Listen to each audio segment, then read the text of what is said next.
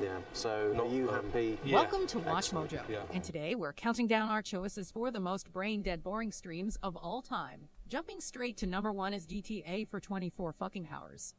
Yeah, yeah. Finding nothing to justify a body search. Thank you for your patience. What the, the passengers fuck?